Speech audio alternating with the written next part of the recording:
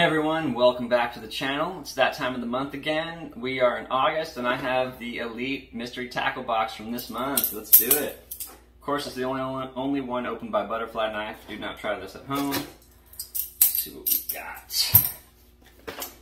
Always excited to open these because I'm a fishing addict.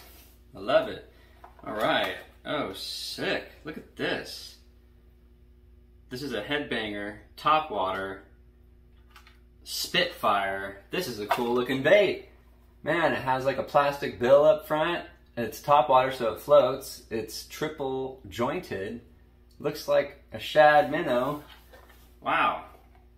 Dang, dude, it's top water season right now. I'm gonna throw this bait. This looks sick.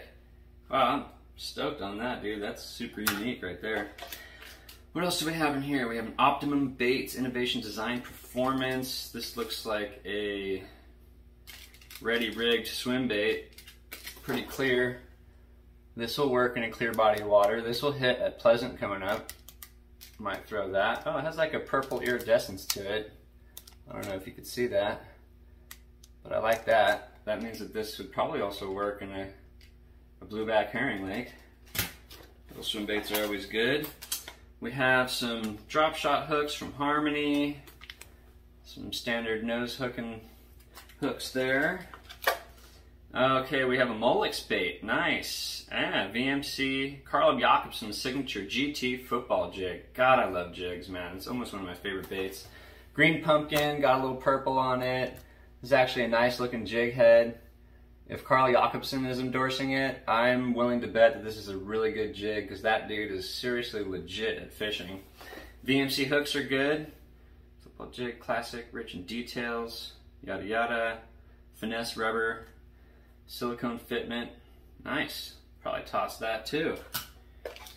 Right, we have a drop shot style worm bait, heavily ribbed, from Japan, called Reins for fresh water, it says.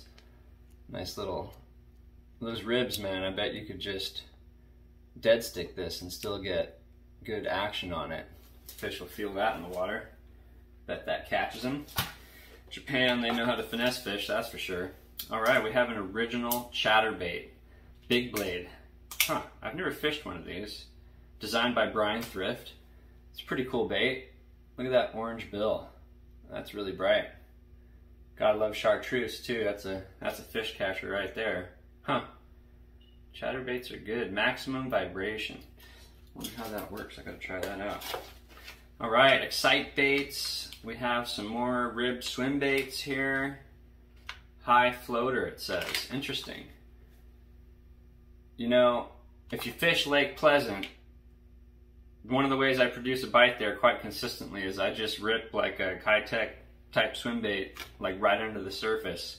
Rip it pretty fast and it gets bit. I bet this would work just the same since it's floating.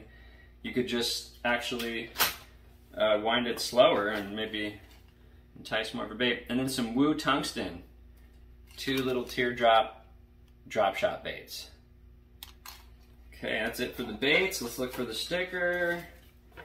Where's the sticker? Oh, what? Guys. Dude. Bummer.